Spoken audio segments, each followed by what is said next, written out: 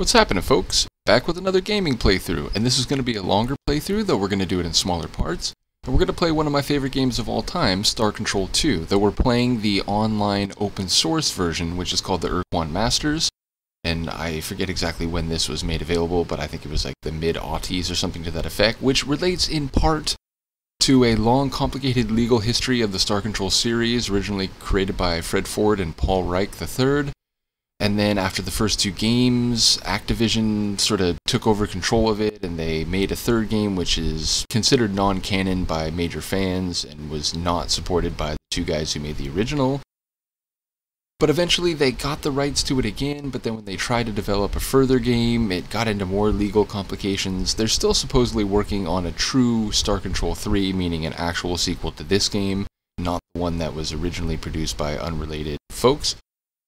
In any case, uh, it's a starfaring game. It doesn't take place in real time, but it does take place in running time, uh, and ultimately, I'll, I won't say too much, but the first game, Earth is fighting a battle against this galactic dominating species, which either enslaves or enlist as a battle thrall every species they encounter. And Earth is losing the war, so they send this secret research team off to this planet in a faraway star system in another part of the galaxy. And basically, the the second game starts from the perspective of the research team that's been away from Earth for 20 years, as it turns out. But yeah, ultimately, it's a game that you have to be a diplomat, you engage in star battles, there's a lot of comedy, if anyone's ever played the Mass Effect games, not only have the people who made Mass Effect and wrote a number of the specific important parts, like the people who created the Reapers, they've indicated Star Control 2 was a major influence. There's some references to Star Control 2 in the early Halo games, like in the, the manuals in particular. So it's obviously a game that inspired a number of people who made later, very popular sci-fi spacefaring games. So let's get to it. We will put it into full screen go. This is Star Control 2 in the version of the Ur-Quan Masters. I should mention, Ur-Quan Masters, you can use either the original music, which is what we're going to do, but also people who played the game originally, a bunch of Scandinavian producers actually, they made a whole remix suite of all the tracks, and you can actually use that instead. But because I'm going to play it, you know, it's sort of nostalgic, I'm going to play with the original music. Here we go, Star Control 2, the first play of our much longer playlist. I imagine this is going to take dozens of plays, um, or dozens of videos. The first video in our Star Control 2 playthrough. And Frungy, you'll find out what that is later.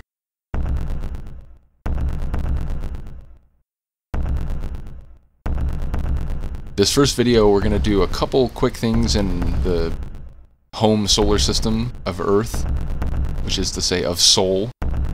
Uh, but a lot of it, we're going to talk to this guy who's on a space station above Earth, and that's how you're going to get the backstory of what happened in the first game and what we'll be doing in the second game. Oh, and by the way, at our home headquarters at that starbase above Earth, they play acid techno. I'm not even kidding. And this is in the original game, which I think is like 92, maybe 91.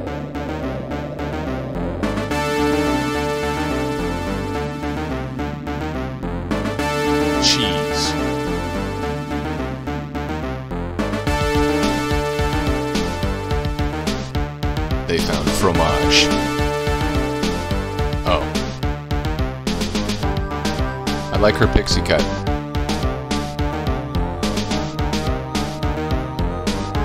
Yeah, and one of the, I think it's the Halo 2 manual, or maybe in the Halo 1 manual, there's a reference to the precursors.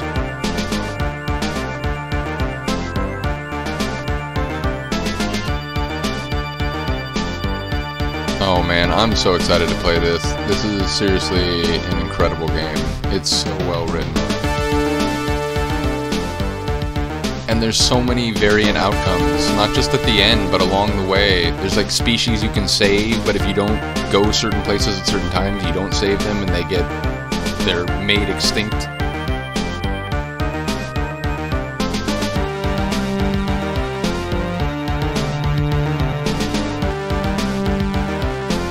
made cool little Pueblo houses.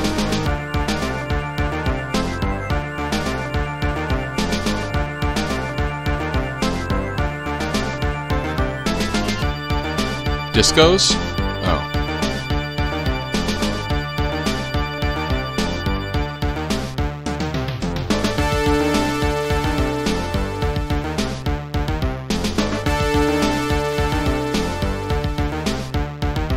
So we threw Johnson in and finished it off.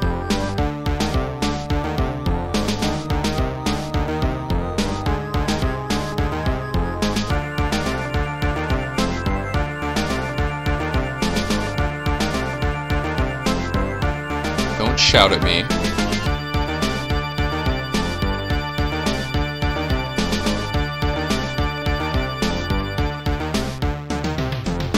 Oh shit, going into hyperspace. Yeah, you can fast travel in this game, go through hyperspace, but they sort of make it like time dilation in that time goes much more quickly as you do that, so... And again, you're always on the clock in this game. For multiple reasons, and I won't say more than that for now. Right, did Earth win? Did Earth lose? What happened?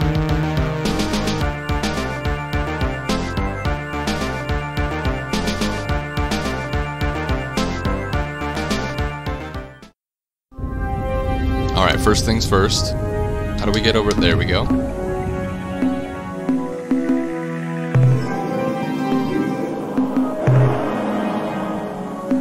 Alright, we're naming our captain, and you all know who I am, so you know who the captain is. Indeed, this is... Oh, it's not S. What button do I hit then? Oh, okay. I'm imagining this to be our Ombian excursion starship, essentially.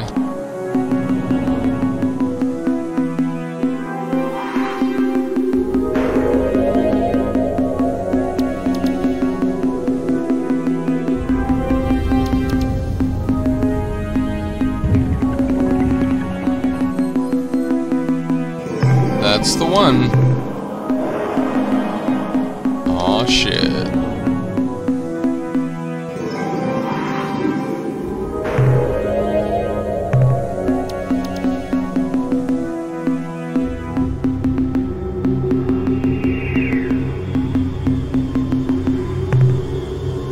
Am Shnootz of the Starship Acid.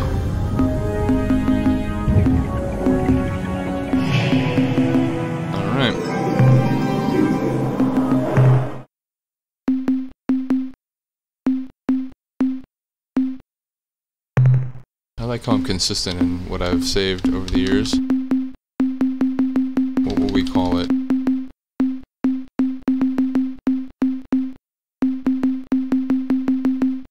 YouTube.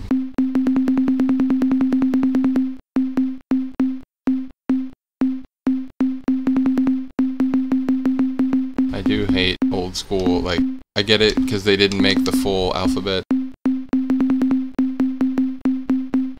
remember there's like old school games where you have to get a password entering with this system, like a 26 character thing. It's like, yo, what are you doing to me,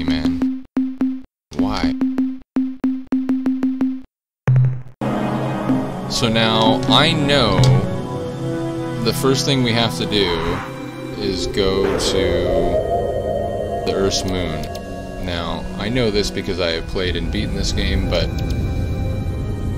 normally you go to Earth first, and the guy there is like, hey man, our star station. Oh, I'm not even gonna say anything here. I'm not even gonna joke. Attention, interloper. Heed this recorded message. This drone vessel speaks with the voice and authority of Urquan. You are trespassing within Urquan space. This world, Earth, may not be approached for any reason, nor will hostilities against our orbital platform be tolerated. In addition, your ship does not respond to standard hierarchy identification transmissions, and is therefore deemed to be independent.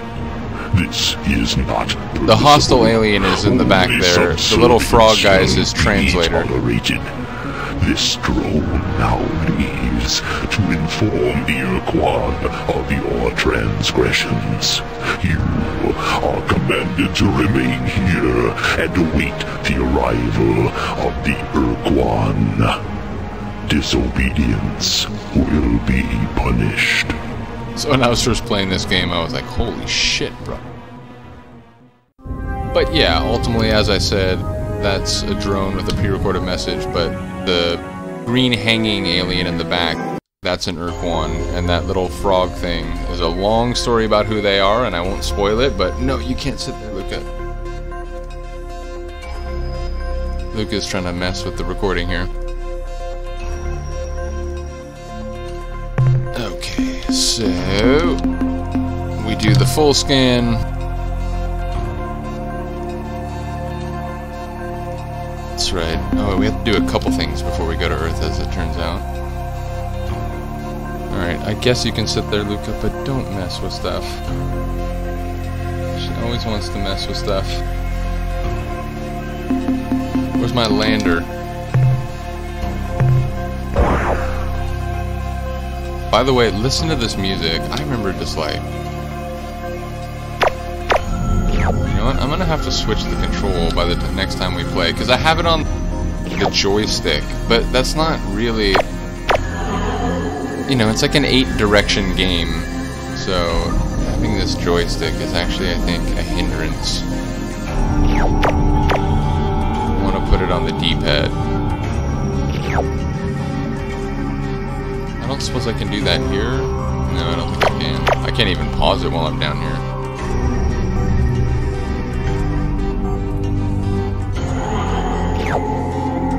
Kill all these little robots. And again, I'm just saving us time because basically if you go to the orbital platform at first, like you're inclined to do, because uh, you can't land on Earth as it turns out, which, you know, given that message from the Urquan drone, pretty clear Earth lost the war, yeah? But yeah, if you go there, he's like, hey man, we don't even have power, we need you to go get some radioactive elements, and also, can you go to the moon and check on the station? Because they were supposed to, like, give us stuff a while back, and we haven't heard anything. Hold on, sorry, one more little bit of mineral. Oh, I'm full. Alright, never mind.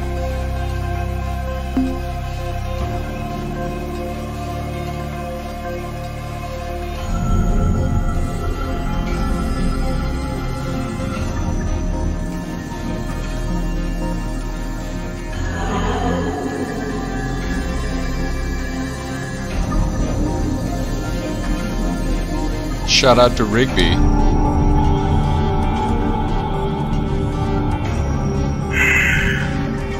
Sounds good, brother.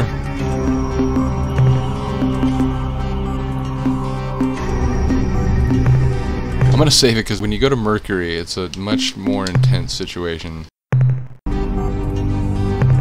That does save like that?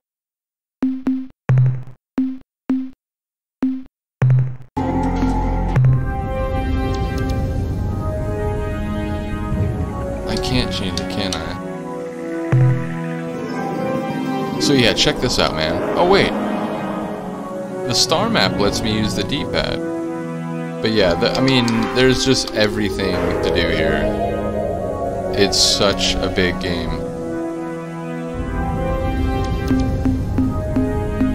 Game settings, do we have controls? Nope, gotta do that in the main menu. What a nightmare. Well, between this play and the next play, I'll make sure I can use the D-pad.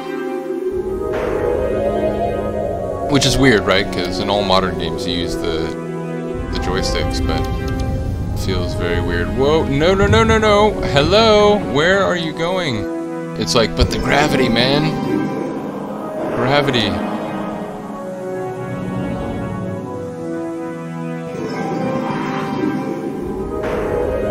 Okay, so for real, there's a genuine danger that you can lose your lander on this one. Like all the all the planet musics, there's like five or six of them. They're all awesome.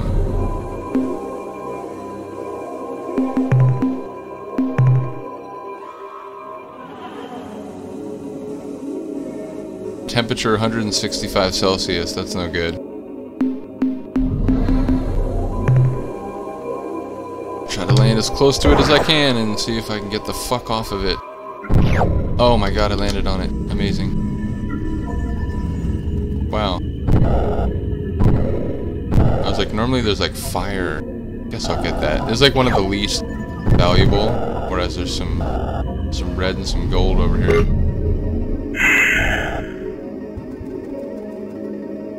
I gotta land some more. I gotta get some more.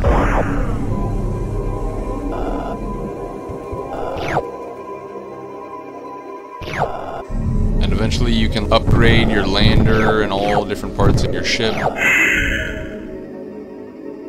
Oh man. We're at the beginning of a great journey, I'm telling you. Not to sound like Carl Sagan.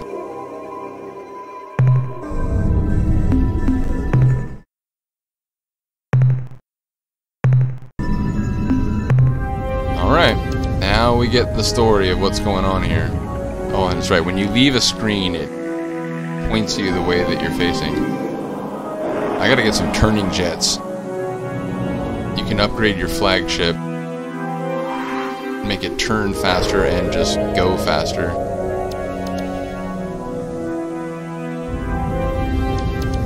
We'll look at Earth really quick just to get a sense for what that's like.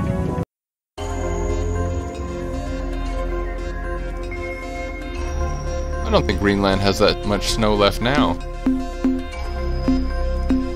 But yeah, you can't land on it.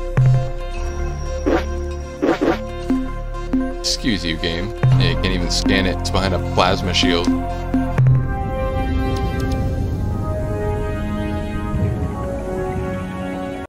Attention unidentified space vessel. I am Starbase Commander Hayes of the slave planet Earth. Our hyperwave broadcast extremely weak. Situation critical. Energy cores exhausted. Scanners and deep radar are Acid techno. non-functional. That's all I have to say. We cannot identify your vessel. Are you the scheduled hierarchy resupply ship? Nah, man. Repeat. Are you the resupply vessel?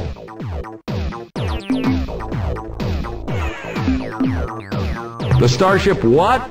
Acid. Never mind. Look, we won't last much longer. Here's our situation. According to our oath of fealty to the Urquan, we must maintain the starbase, but we have no space vessels of our own.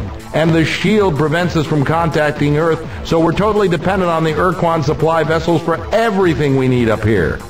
We know there's a hierarchy base on the surface of the moon, but we can't contact them. The Urquan were supposed to resupply the base at regular five-year intervals, but we haven't received anything in almost eight years. What we don't recycle, we can usually synthesize, but to do so, we need replacement radioactives for our generator energy cores. If you could bring us some radioactive elements, we can fabricate the cores ourselves. Are you willing to help us? You're in luck, my man. We're initiating transfer of radioactives, Captain. Now, as soon as our engineers can refit the energy cores, there, that's much better. Power ratings are climbing. Life support is coming back into the green. Deep radar systems and sensors are now online, and I can scan your vessel. What the hell kind of ship is that? Just who are you, Captain? Let me ask you two questions. Number one, how long you been listening to Acid Techno? And number two, what's up with those guns, man? You been working out up on the starship? Star Control Science Mission, huh? Captain, I served as a Star Control officer during the war aboard several cruisers in the Coreward Front. And if there'd been any scientific mission to Vela, I would have heard about it. Hmm. You know, come to think of it, there were some rumors that Corridor 9, the Special Operations Division of Star Control, was directing some hush-hush operation near Androsynth Space. The Vela star system. Yes, that would be the right direction. So, Captain, if you say it's true, how do you explain that huge alien starship you're flying? And why are you here? What do you want from us? I want you to pronounce H in the word huge. Ah, fight the Urquan. Win back our freedom. I remember having such thoughts myself once, long time ago. That was in the first years after the defeat when it was still terrifying to look up and see the bloody glow of the pulsating slave shield overhead. Though day and night we gazed up at the impenetrable wall as though the sheer power of our hatred would pull it down. But over the years, I spent so much of my time struggling, down on the surface, under the shield, and then later up here trying to keep the station alive, that I'd forgotten what it means to be free, to hate our Urquan masters. And now here you are, in an alien ship of unknown power offering me your assistance to fight against the hierarchy again after all these years. Captain, your offer is intriguing. It's tempting to think that with your advanced precursor technology we can somehow crack the Earth's slave shield and reassemble the Alliance to attack the hierarchy. And this time, win the damned war. Consider the consequences if you should fail. The Urquan won't just punish us here on the station, they'll exact a gruesome retribution on the surface below as well. Before I commit the station to helping you attack the Urquan and accepting the risk of annihilation if we are defeated, I have to make sure that you and your ship have what it takes to oppose the hierarchy. I'll make Can you, you a make deal. a sandwich? If you can eliminate the alien base on the moon and get rid of that threat at least, I will seriously consider your offer. I'll be darned. All these years we've been listening to their incoherent broadcast and we never even guessed. Captain, listen closely. Long-range sensors show a ship closing on this station fast. Our computer identifies it as Ilwrath, Avenger class. I think you've got a fight on your hands, Captain. Your best bet is to wait until you have point-blank range. Captain, it's jamming our signal. By the fetid breath of the Dark Twin Kazon. Hey, man, I eat cheese. What do you want? Starship. How fascinating. When I intercepted that Urquan drone and learned Which is good for us in the long term. starship had approached Earth, uh, I never expected to find such a remarkable vehicle in the hands of a human. Humans are prey animals, weak and helpless. But here is a human in an armored starship, and therefore in direct violation of the oath of fealty. I am sure our masters, the Urquan, will punish Earth most severely for this treachery when I present them with the twisted wreckage of your ship and your many charred corpses.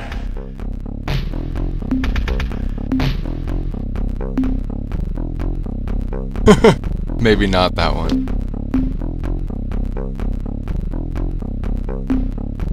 Since you will soon be dead, I will gladly explain. We have spent many years gleefully preying on the Pkunk. They are a pitiful, easily killed species. And we would have continued in this divine worship of Dogar and Kazon, but we required additional crew members and repairs to our cloaking device. So we departed the Giclas constellation and set course for home. But before we had reached our region of space, we detected the passage of a nearby vessel, the Urquan drone. It informed us about you, so here we are. And now you die. We'll see about that. I'm not gonna use the flagship. We're gonna Captain Tough. All right, I like it.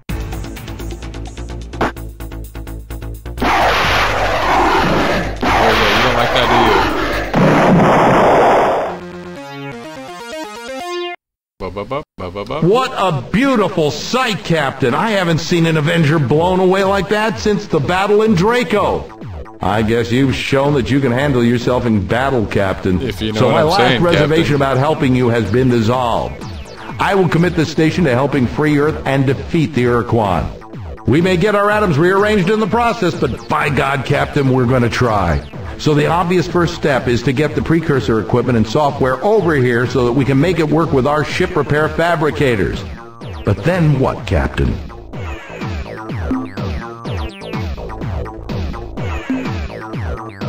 A sensible plan, Captain. Let's get to work. Good luck. By the way, Captain, I think we need Bro, a name for this new alliance we're going to forge. And since it was your idea, it's only fair that you get the honor of naming it. So, what will it be? Oh my god, I want to pick it.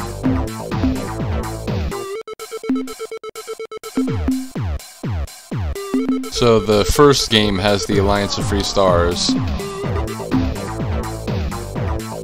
Isn't this the Star Trek one? I feel like that's the Star Trek one.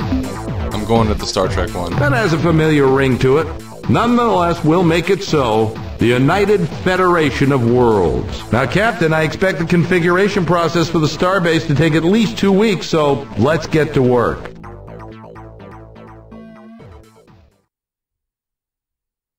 I have good news to report, Captain. We have successfully integrated the precursor technology from your ship into our fabricator system, and as you can see, we've already begun minor repairs on your ship, patching up some of the micrometeorite holes.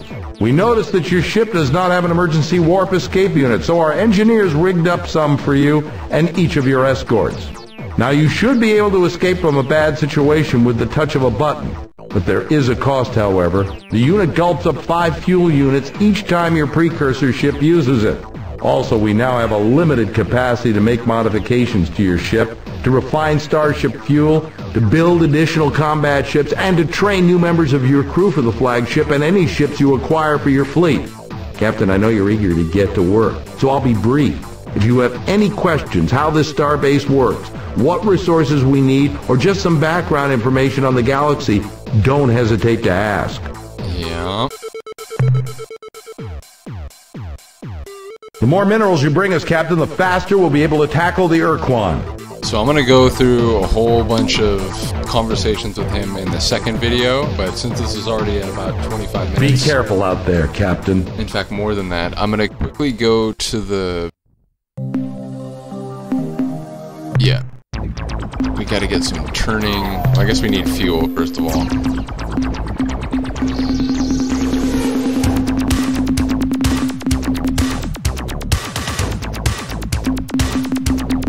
Uh, let's save a little bit for now.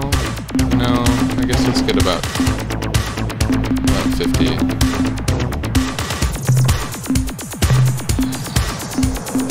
We need them turning jets, man.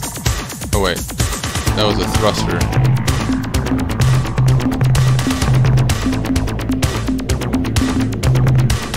There we go. Now we're gonna turn a lot better. And then you can buy all, like you can buy another lander. How much are they? 500? And now I'll just keep the one. But obviously if the one you have explodes, then you're screwed.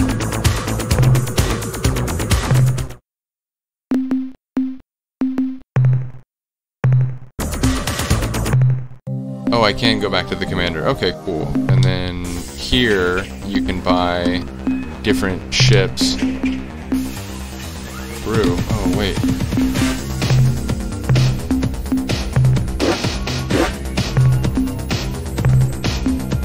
Yeah, obviously I can't afford one now. But then when you make alliances with other species and they give you their technology for their ships, you can make all sorts of other ships. So then you can custom your 12 escorts in your fleet. So,